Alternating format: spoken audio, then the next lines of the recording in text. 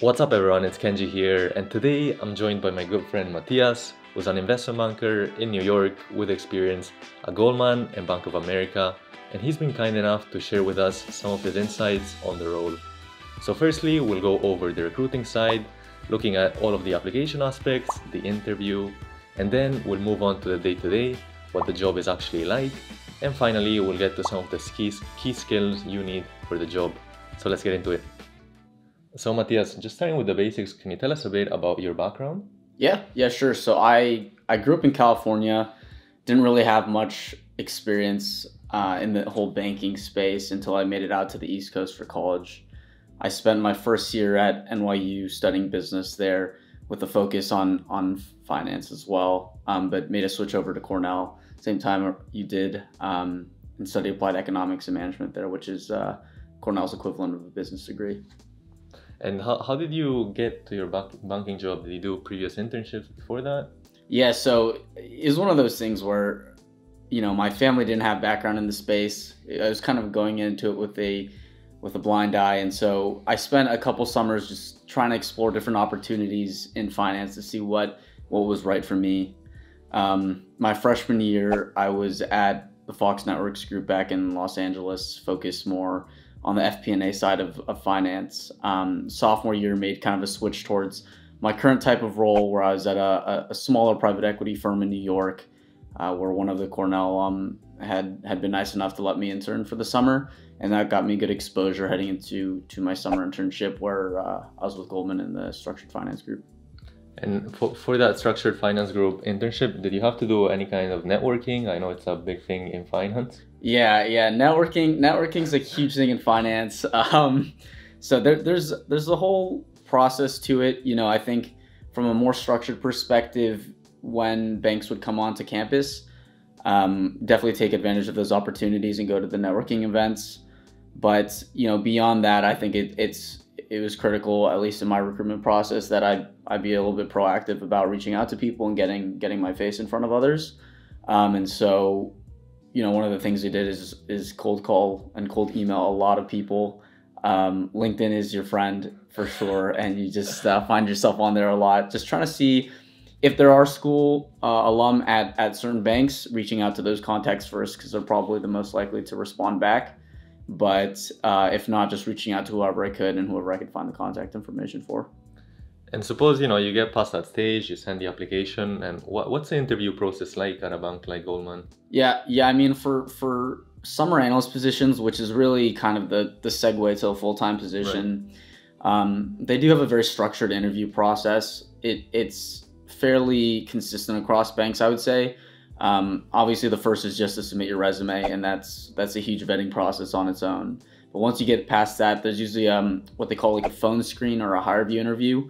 Um, for some larger banks that just don't have capacity to, to phone call every single person that that uh, applies for the position, and so you'll do like uh, an initial interview will, where it'll mostly be behavioral questions, just asking you about you know your background, why you're interested in the role, why you're interested in the company, and then kind of transitioning after that uh, you get invited to something called a super day, uh, which is typically a three or four interviews where you go into the to the bank's headquarters uh, in New York City or wherever location that you're applying for, and you speak to, to two reps per interview round, typically 20 to 30 minutes, depending on the bank, um, and you do those consecutively. And uh, following that, you hear within a couple of days of of uh, whether or not you got the job offer.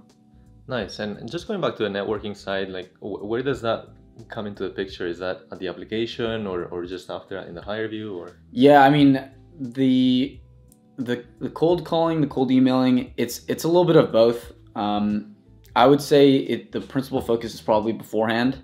Okay. You definitely want to have exposure before you submit your application.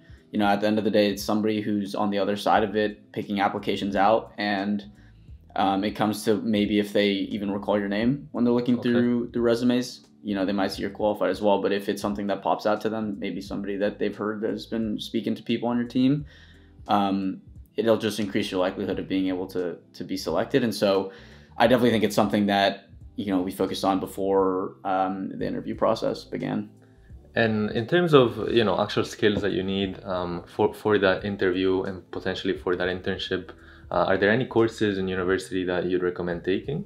Yeah, I mean, for sure, 100%. I think the most important class is is accounting. You know, right. it's it's I, it's it's an understated class, and I I don't think it's um, necessarily the most dynamic, but um, it, it's one of those things where you learn the the foundational skills that you need to for this job. I don't think without accounting you are able to do the day-to-day tasks that you're required to and it honestly does serve as the foundation for almost everything we do in finance right. and so from that perspective i think that that was definitely the most important class i took altogether in college um, you know uh, that's not to say that you need to go to a program in college that offers a business program or where there's accounting uh, classes that that are offered I think one of the things with this job, especially with the way that it's structured in recruitment cycles, is that you'll end up having to self-teach yourself a lot of it, just right. because you you know maybe at the time you haven't taken upper level finance classes or whatnot, um, and so external third-party resources are probably the best best resource for you.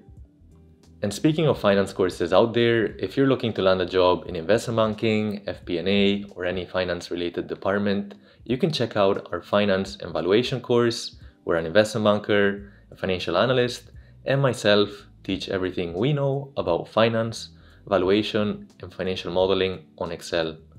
First, we cover financial statement analysis using Apple's real annual report as an example. Then we get into financial modeling through a three statement model. After that, we begin the valuation phase where you learn to do a discounted cash flow, a comparable company's valuation, and a precedent transactions valuation on Adobe, looking at the real financial statements to eventually derive a valuation range. Lastly, we'll show you how to present an investment thesis using a stock pitch format. So if you're interested in checking it out, go to the link in the description below. All right, so moving on to more of the day to day and what that's actually like. First of all, can you explain what an investment banker actually does? Because I feel like a lot of people don't really understand that. yeah, um, it definitely depends, I think, on the role you have within investment banking.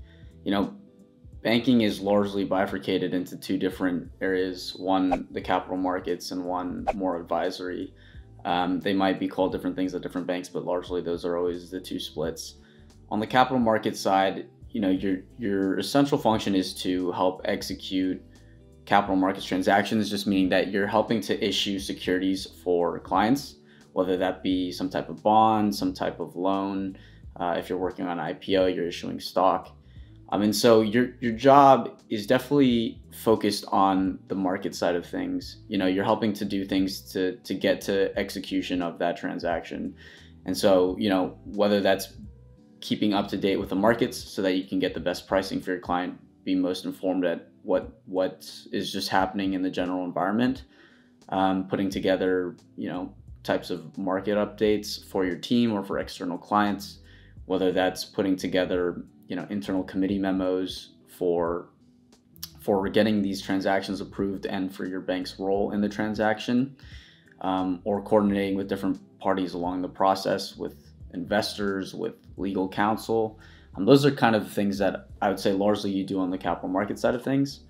On the advisory or, or more corporate finance oriented side of things, um, where you're kind of siloed into different industries, you do a lot of work in in PowerPoint and Excel. I think that's kind of the, the reputation of the job, but it, it would surprise you. You know, I think I think one of the things uh, a lot of a lot of people think about when they go in is that you're just going to be you know turning in Excel all day. Right. And it, it is quite surprising how much time you actually spend in PowerPoint. I think okay. that's probably actually the more predominant thing. It, it's it's just a matter of the types of presentations you're putting together.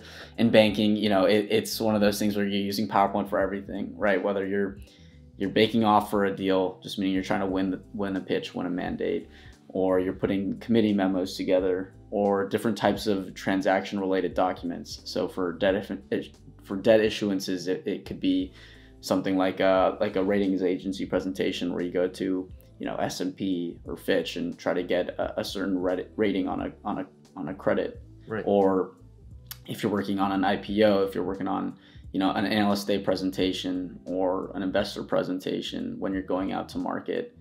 Um, or for like an M&A process if you're putting together a CIM or a confidential information memorandum. Like these are all things that are very PowerPoint based and it's it's it's um, just putting together essentially for the most part uh, a profile of the business. So a lot of it is PowerPoint.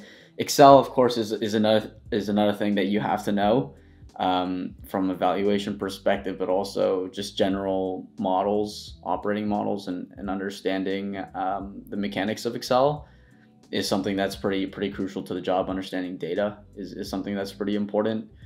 Um, and then beyond that, I think it's it's surprisingly a lot of outlook work. You know, responding to bosses, they want to make sure that you're that you're a busy worker, um, which which you inevitably will be. But but those are probably the things that you know describe you know what you do in banking at least on a junior perspective. Fair enough. Um, and what you do on a day to day.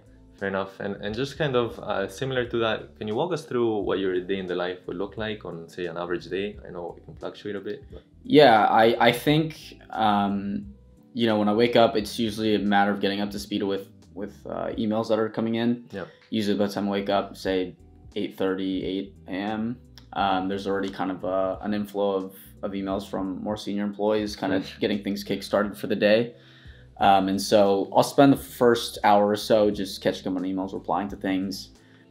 Beyond that, until maybe like 5 p.m. during the regular way working hours, you'll often find yourself stuck in meetings. Um, you know, as an analyst, it's important to be able to attend these meetings and, and kind of think through the things that are most important, synthesize the things that are the key conversation points in those calls uh, to be able to, to send around to your team. It's always useful given how many things are going on around for, for everybody on your deal team, um, just because they're exposed to so many different deals that they also have a reference point for, for what's going on. And so you do find yourself taking a lot of notes during these calls and kind of getting getting everything aggregated from a from an admin perspective.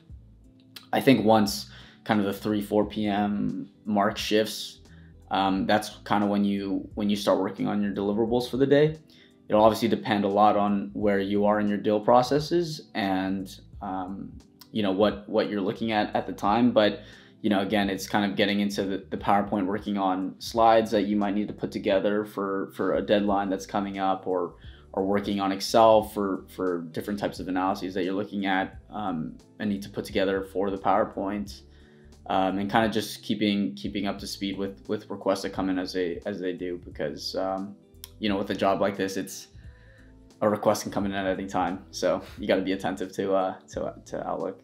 And and when it comes to the work hours, uh, what, what would you say an average week uh, looks like? Yeah, I think I think on average, I would say probably 80 hours a week. Okay. I think there's a lot of variance. Like it, it I would. I'm, I'm a little skeptical to say that it's always like that. Right. If it's slower, you know, I've, I've seen it go down to like 65 hours but at the same token, if, if it's a super busy period, let's say a couple deals are live, I've seen it get up to 100 plus hours. And so it really varies. I'd say like 80 is probably the median. Okay. Um, that includes weekends as well? Or? Yeah, yeah. So I would say typical day is probably like 9 to 1 or 2 a.m. Um, Monday through Thursday. Friday, people typically like to get off a little bit earlier, just um, ahead of the weekend. So it'll be something from like nine to six or seven. Okay. Um, luckily, at, at my current firm, we have Saturdays protected, so usually they're pretty good about that. But Sundays, you know, it, it's also one of those things where you always have some type of work for the most part. It could be a few hours, but but um, there's always something to do. Sometimes it, it can be a full day, but it, it really just depends again on on uh, what's going on in your deals. Makes sense. Makes sense. And just moving on to something else here, for say a first year analyst or somebody that's really fresh out of school, um, what kind of a salary can they expect? Yeah, I mean, when we were going through recruitment, I think there was for a long time there was kind of a set expectation that your base salary was was 85 okay. 85k. Um, since then, there's been a bit of a, a competitive process within banks to try to increase salary as a way of differentiating themselves to, to students. And so, you know, it's it, it varies a little bit more uh, than it used to. I would say I would I'd say the normal range for a first year could be like 100 to 115k uh, as a base salary, and then as a bonus, you know, anywhere from 50 to 100 percent of base, depending on both the type of bank that you're at, whether that's a, a boutique firm or or more bulge bracket type institution, um, but also depending on the general economic conditions of, of the time. Okay, and, and lastly, just for somebody that's looking to break into this type of a role, maybe as a student or already a working professional, uh, what kind of advice would you give them? Yeah, I, you know, it's it's one of those things where, unfortunately, with with the banking industry, recruitment happens so early in your college career Right. that I I often feel like like students feel a pressure to know everything Yeah. when they start recruiting and at such an early age. Um, I think the first and foremost thing is just to, to say that don't don't feel the need to to, to know everything or, or feel like you're you have everything under your belt. You know, I, I came from a background where I didn't have experience in, in this side of finance or, or finance in general. Um, I didn't know what investment banking was even entering into college. And I know for a fact there were students there who, by the time they were seniors in high school, were already prepping by taking internships and stuff. I hadn't had an internship to, to that point. Um, I only had my first serious internship as a, as a freshman, and I didn't really consider investment banking until I was a sophomore.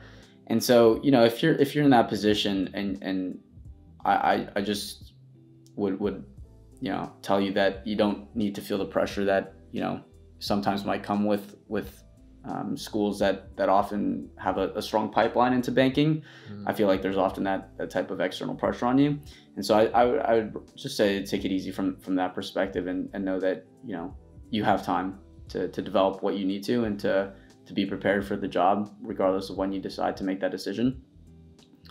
Um, another thing I, th- I think broadly is you know know why you're getting into banking. I think it's it's easy if you're in a in a business school program, um, especially one that a lot of kids like to go into banking to, Right. where you think that that's something that you want, but I, I would say make sure it's something that it's not just for you know for the compensation or for the reputation because the reality of the job is that it, it is a very demanding job and it's those times when um, you know you're working 100 hours a week when you start to question you know the, the day-to-day things that you do Yeah. that it really it becomes apparent to you who's who's actually there for for having an interest in, in finance and in banking and and who is not Yeah. um, and this will happen to everyone but it it's one of those things where you want to be sure that the decision you're making is one that really aligns to your long-term interests and and your goals um, and so th- those are the things i probably keep most in mind when Okay. going into a job like this And ki- kind of following that, so I suppose you've gotten the job. uh, What, what kind of opportunities are you looking at maybe when you leave the job, or, or maybe do most people stay there? What, what's that dynamic usually like? Yeah, I, I think that's one of the, the great things about banking. It's just the flexibility it offers you uh, post post the job. You know, there is the opportunity to stay. I, I wouldn't say that the majority of people do that, Okay.